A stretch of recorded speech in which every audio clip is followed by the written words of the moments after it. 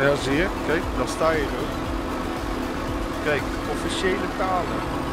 Eh, eh, in België is het Nederlands, Frans en Duits. Ja, Engels wordt Wikipedia- allemaal ook maar ja. En dan eh, bij Nederlands is het Nederlands en Fries.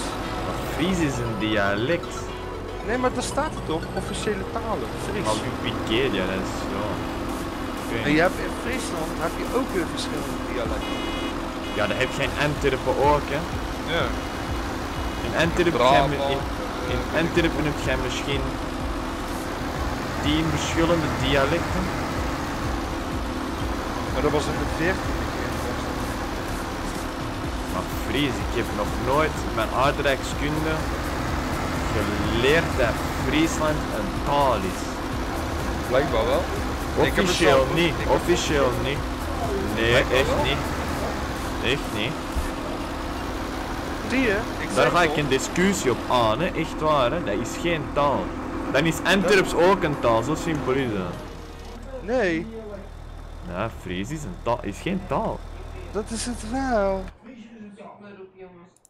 Fries is Kijk. een dialect. Nee. Jawel. Hier Mama. jongen, kijk. Friesland is geen apart land. kan een taal zijn.